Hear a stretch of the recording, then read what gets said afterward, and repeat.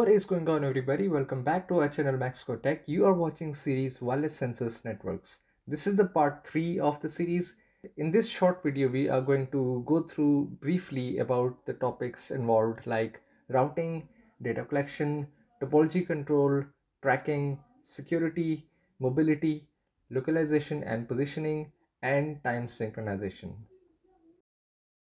Routing the process of efficiently transferring data packets from one node to another node in a network.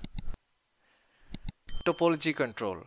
In a large, dense and complex networks, a process of trimming down of unnecessary links that may cause interference in communication and hence resulting in a less complex but still connected network. Data collection. The process of efficiently gathering of data from source to the sink node.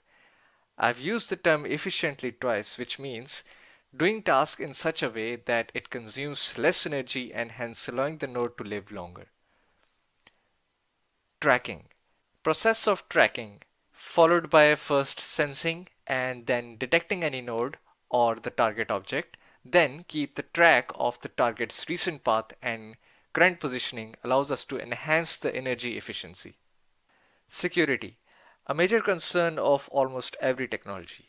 Here, security is mostly related to identifying faulty nodes and Byzantine nodes in a network that may give us false readings or data packets either intentionally or unintentionally. Mobility, localization, and positioning is the basic requirement for tracking. Time synchronization. Sometimes nodes require to follow a routinely checks at specified time, which might be to the accuracy of milliseconds and nanoseconds, for which a mechanism for making sure every tick on every node follows the same time. A good example can be using the PPS pulse per second of the GPS. Out of all of these core topics, we are going to look at the routing and data collection in this wireless sensors network series. I will try my best to cover more topics as well, but not promising yet. But again, it also depends on the demand.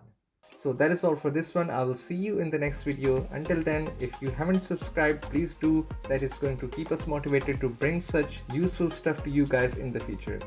Till then, I will see you in the next one. Take care. Bye.